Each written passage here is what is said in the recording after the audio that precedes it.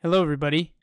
This is Adam Zollinger, and this is my class, 3ds Max Furniture, a modeling masterclass covering every technique necessary for creating awesome high detail furniture in 3ds Max.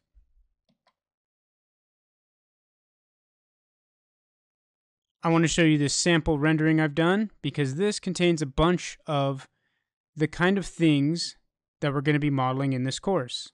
I didn't model, model all of these, but I modeled a lot of it. And you can see this is the kind of high detail stuff I'm talking about. There's these chairs in the foreground, a telescope, a guitar, an amp, lots of furniture, this cool camera over here. And we're going to be covering mostly furniture, but the techniques that I use are the same techniques I use to create all the assets in this scene. So this is the kind of thing you can be expecting to learn how to do.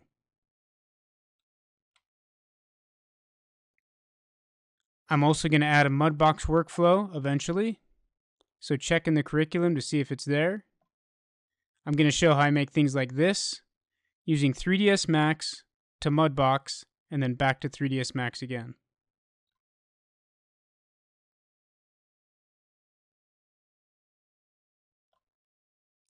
These are some of the files from the course.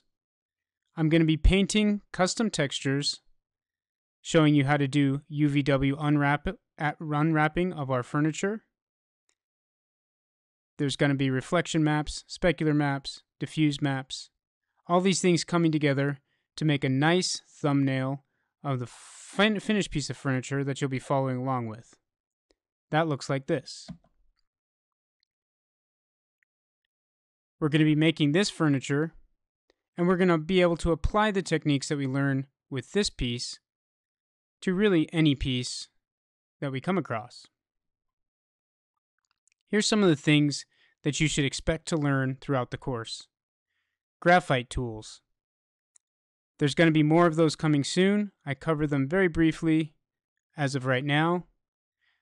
But just know that throughout this course, or throughout the time period that you're enrolled in the course, I will be continually adding new techniques and new features and new lectures to make sure that this course is robust and eventually contains every bit of information you need for making the best furniture out there. This course will teach you all the edit poly tools you need for making nice furniture models. We'll go over the cloth modifier as you can see on the right for adding variation and wrinkles. We'll briefly cover V-Ray Fur, and that's in a upcoming lecture. I'll show you how to use the pressure setting to make cushions and make model organic pieces of furniture with nice wrinkles that look very realistic. I'll show you how to model stitching, modeling wrinkles and variation into your furniture, Studio lighting setup for rendering nice thumbnails. Tips and info for selling your models online. Places like TurboSquid. UVW unwrapping. Painting custom maps in Photoshop.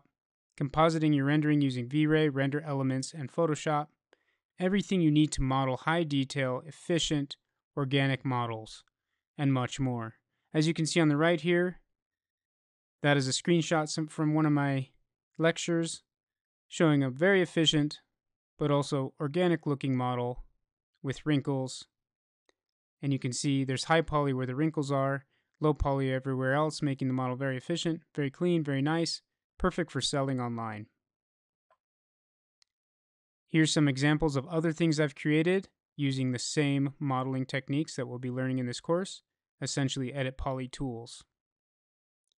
Also UVW unwrapping, and painting of custom textures, and rendering using V-Ray in a studio lighting setting. I hope you guys join the course. It's going to be great. And remember, I'm constantly going to be adding new techniques, new lectures, so that you can come back again and again and have all the info you need to make awesome furniture and sell it online to others if you so desire.